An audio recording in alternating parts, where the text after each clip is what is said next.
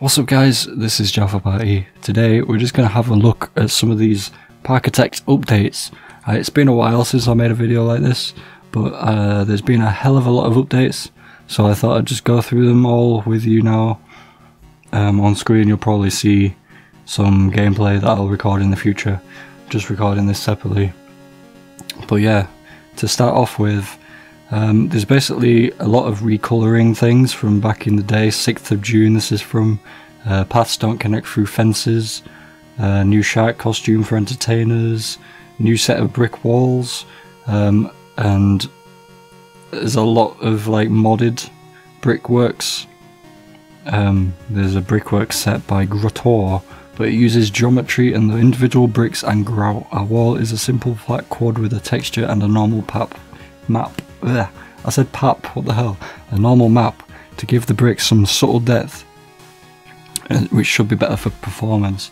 Um, regarding performance, I did have issues like loading big maps, you know, like pre-made maps from the workshop, um, like things with like every single square has like something in it, and it's like mass craziness. So yeah, I had some like running difficulties with that, as it was a bit intensive loading every single thing on the map. Hopefully they'll fix that by now. Um, paths don't connect through walls anymore. There's some edge cases with the round and diagonal walls. We'll have to see how they work. Um, I'm just reading through this right now let you guys know.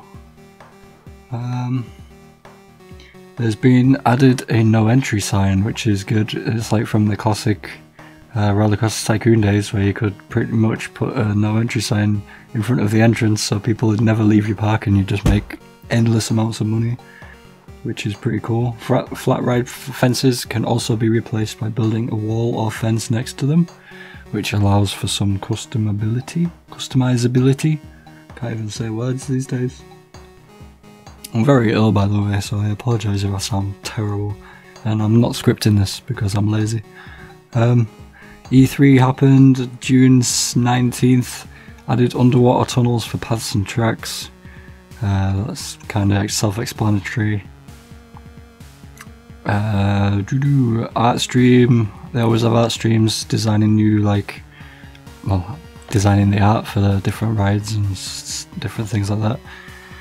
Um, lots of translations for different languages French, uh, Spanish, German, etc heat maps for uh, roller coasters have added have been added to like show velocity and maximum speeds and stuff on uh, roller coasters, which is pretty cool. And then we get into the first big update on the 3rd of July, Alpha 3. Um, there's a motion simulator ride, um, 2x2 tiles, smallest ride in the game. Um, hydraulic based. Help visualize the current weather a bit better. So there's like a bit of um, adaptation to the weather cycle, I guess. Um, so far, there's been a sole programmer working on Parkitect so far, and he says it'd be cool to finish it alone. There's a bunch of work left though, and our sale numbers are looking good enough that we can afford to hire more people, which is pretty cool. Um, two people from Parkitect Nexus are helping with the programming tasks.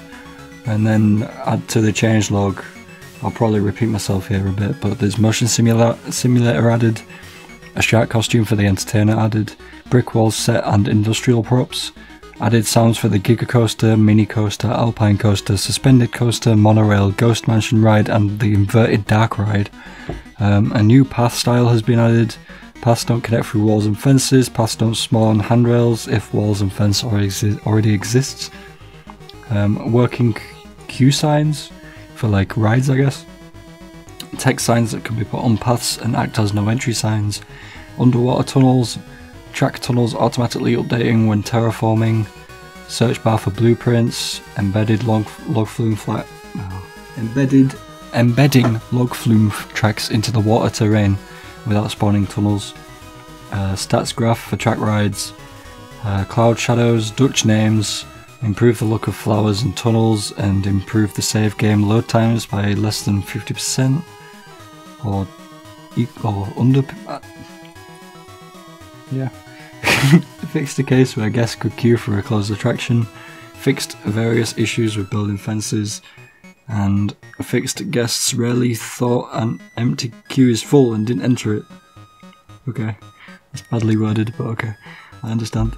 Uh, should fix very rare case where mechanics would get stuck in ride end gates. So yeah, that's a lot of things, and then there's a massive devlog of some woman called M going to um, an amusement park in Vancouver, recording like actual uh, roller coaster rides and such. Um, the next one is rendering Big packs can contain tens or even hundreds of thousands of objects, and Unity was not great at rendering lots of individual, individual objects.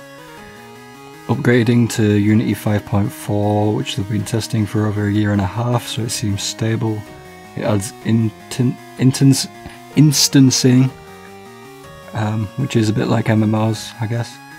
Um, a technique that allows faster rendering of multiple copies of the same objects and moves a bunch of work that previously needed to be done on the CPU over to the GPU. Due to the way scenery works in Parkitect, the same objects are usually on screen tens of hundreds of times as a simulation game. We need to use all the CPU time we can get, so it's perfect. Um, guests, this is all like rendering and like optimization settings, I guess. Um, want to have as many guests in the park as possible, so they've already received the most attention. Um, working on improvements, mouse picking. Some of the parks you've built got so big that even something as seemingly trivial as figuring out what object is below the mouth, mouse could be become a performance problem. We've previously used Unity's mesh colliders for this. Their intended purposes is more for adding physics interactions to a couple of objects, but it worked well enough in the past. Since the game received scenery and more content, though we've seen parks where it could take up to a second to figure out what's below the mouse in extreme cases, replaced a custom replaced with a custom solution that's more suited for their needs, like the game's needs or developers' needs for coding and such, and brings down time to a couple of milliseconds. So yeah, then it basically shows a bunch of graphs um, Graphs are boring, so I won't show them. But um, basically a bunch of performance issues and being able to differentiate objects on the screen under your mouse and stuff like that. Um, seems pretty good.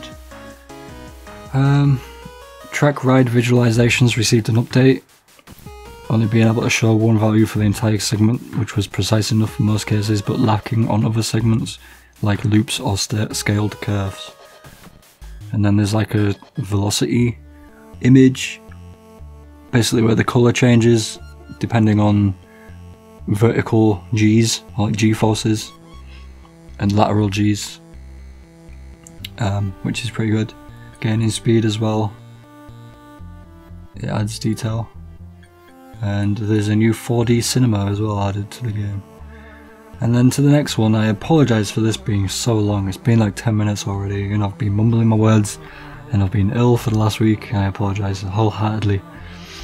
Um, but this next one has significant changes under the hood, and thus might be a bit less stable than the previous one. Um, worked on audio, a red coaster on the ground and a blue coaster that's been raised. They're both roughly in the same position on the screen from this view. So it's to differentiate sounds based on location. They're working on that, I guess. So like in the image there's a blue roller coaster in the top and a red roller coaster in the bottom. So if you zoom into the blue one, you'll be able to hear the blue one louder than the red one and vice versa. I think that's the point they're trying to get to.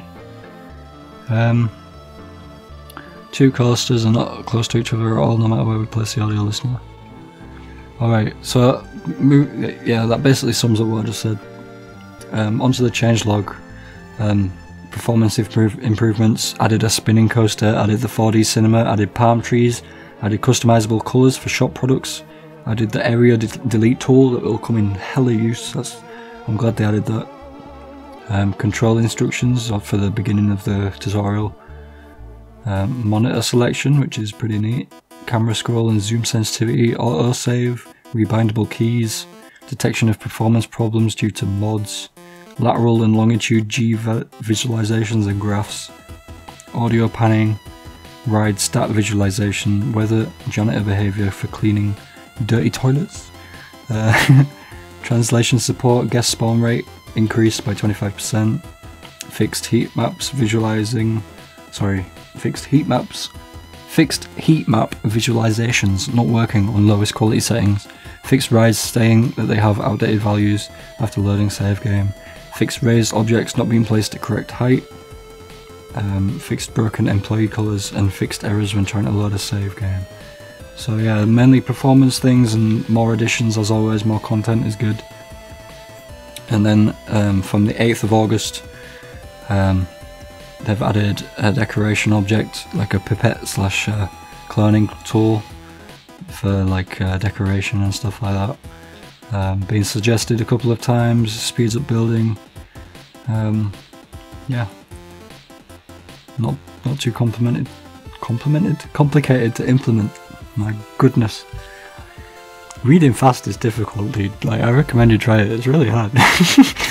anyway, between the Alpha 4 release and a patch for it, we started working on some higher tasks that'll likely keep us busy for the majority of this month. Luke started with the designer, scenario designer, which will ultimately allow us to offer different starting packs with different settings and challenges. That's pretty good, so you'll be able to, at some point, create your own scenarios and, like, have your own, like, objective based parks and stuff. That would be cool. Pretty neat. Um, improved working on handling of trash and shop resources. You need it for bigger parks, etc. And then for the next one, 15th of August, trash deliveries or trash and deliveries are going to be handled in a totally different way. Um, there's a new deliveries building which will re replace the current crate and trash stacking tiles.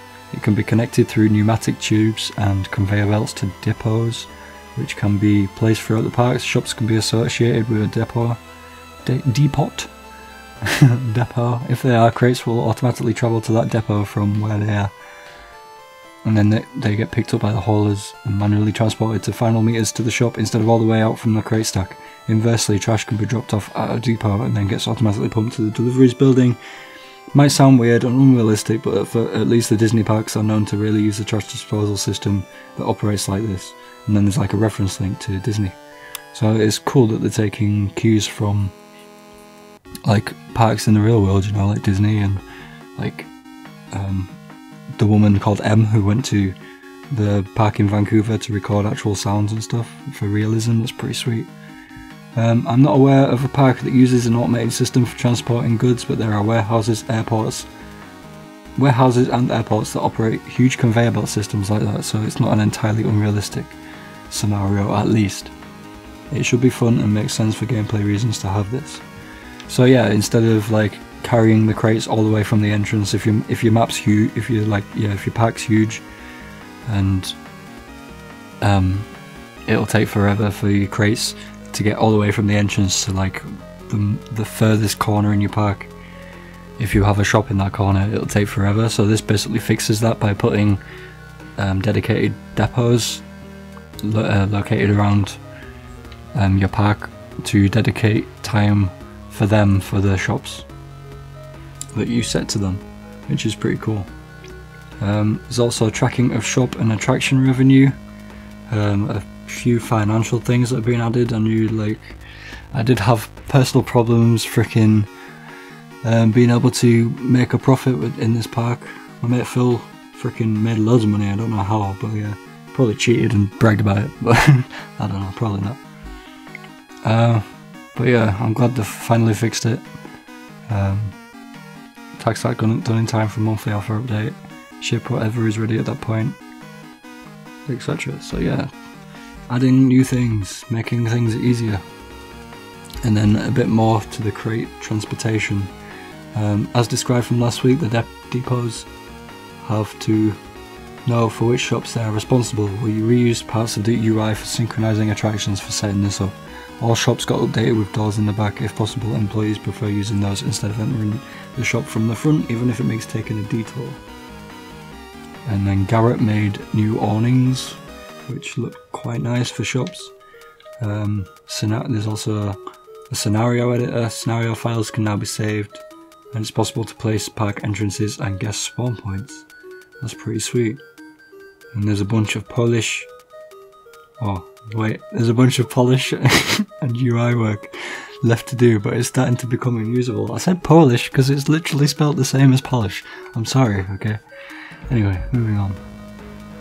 Garrett's been busy making all sorts of decorative objects for the medieval theme. So I guess they're doing themes. That's pretty cool. So there's like an archery thing, uh, different types of wells, uh, a wall with like targets on them, and like uh, like dummies and awnings and hay bales and pots, things you'd see in like medieval times. Pretty cool. And then there's a thing underneath it which looks like scaffolding. Um, Sebastian made slopes and supports work for the transport system and transporting trash. Cool. So uh, maybe they have scaffolding now? I don't know. Who knows? Um, moving on. Um, this update will likely cause bugs and other issues. Oh shit. Um, they've added a park as a scenario, I suppose, called Heartland Park by Lord Gonchar. Phew, we managed to get it all stable just in time for this month's offer update. Somehow, this update feels like the trickiest and most exhausting one so far, even though the changelog is shorter than usual. And then more medieval props such as flags and cannons and treasure chests, they look cool. And then the changelog is added resource and transport system, added the beginnings of a scenario editor, added deco object pipette tool, added shop and attraction sale stats, added restocking shops from the back, added a bunch of deco objects, medieval props, awnings and scaffolding etc. So they do have scaffolding. I knew it! Um, added check translation, added performance improvements, fixed weather not updating after a year, fixed guest not sorry, fixed guest guests being confused about whether they want to go after using a trans whether where they want to go after using a transportation ride. I can't read things, I'm sorry. Fixed path attachments sometimes not being built in the same position that's shown as preview. Fixed not being able to select objects through path tunnels. Updating to 20th of September. It's now October. But uh, we added a hydraulically launched coaster on a special launch track segment the catch car grabs the train and accelerates. That's pretty cool. This coaster features vertical sections with rolls. They're gonna take time to improve the supports. It looks a bit weird. They've probably updated it by now. Um, Luke added thunderstorms. They turned out really nice. We'll leave you it. You'll leave it to you to discover what they do. Oh, there's a picture. Holy shit! It's like a moving image, but like thunder and lightning bolts like actually hit your park and stuff. Maybe they could kill people. Awesome. Anyway, uh, next one, 27th September, another art stream yet again. Um, Luke added guest settings to the scenario editor. Um, working on loans, you'll be offered a couple of loan options with different interest rates and runtimes to choose from that change every now and again. Once this is complete, we can start working on money balance and going bankrupt to finally get away from the purely sandbox only scenarios. Employee, path employee paths reflect the colour of the zone they are in. So that's pretty cool. They're like coloured like green and blue and red and stuff. That's pretty sweet. Moving on to the most latest update, 5th of October, Alpha 6 available for download, devlog update 117. I'm sorry that this video is 20 minutes long, like holy mother of swear words.